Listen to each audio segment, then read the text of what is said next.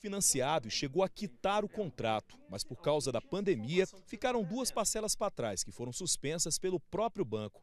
Na hora de renegociar o pagamento, foi quando começou a dor de cabeça. É, mandaram um boleto com todos os meus dados, né? o que me chamou a atenção é isso, todos os meus dados, número do meu contrato de financiamento, nome da minha empresa, CNPJ, tudo certinho.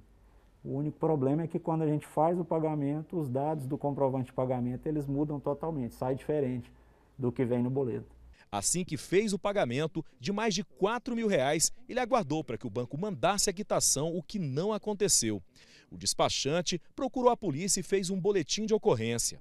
Os golpistas foram tão ousados que poucos dias depois mandaram outro boleto falso, em nome de uma pessoa que o Edson nunca ouviu falar. Só que aí ele procurou a polícia para fazer mais um boletim de ocorrência. Então, cara de pau começaram a me cobrar de novo. Né? Então a cobrança não para, lógico que não vai parar enquanto não resolver.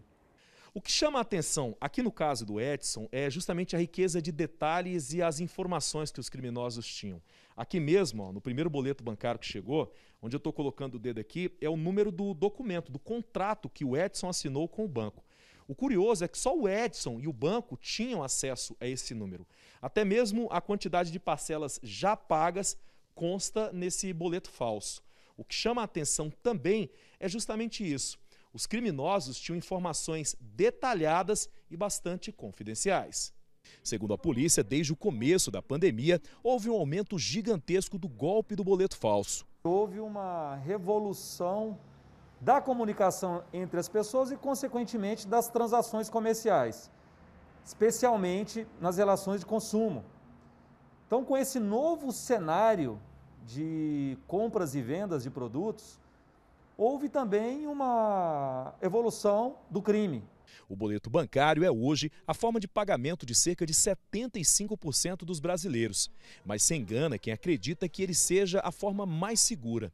Cada vez mais, os criminosos estão encontrando maneiras de fazer com que os boletos falsos se aproximem ao máximo dos verdadeiros com informações como número de contrato, nome CPF da pessoa e até o endereço correto, vem no boleto falso. Jamais tenha pressa ao pagar um boleto quando for abordado por determinada cobrança. Mas como fazer? Procurar os órgãos de defesa do consumidor para ser orientado, conversar com familiares, entrar em contato via internet no telefone da central de atendimento ao consumidor, confirmar se aquela dívida realmente é dele. Na hora que tiver em mãos um boleto, verificar se esse boleto não está em nome de pessoa física. É um dado muito interessante observar isso, porque normalmente grandes empresas, principalmente, elas não estão registradas em nome de pessoa física.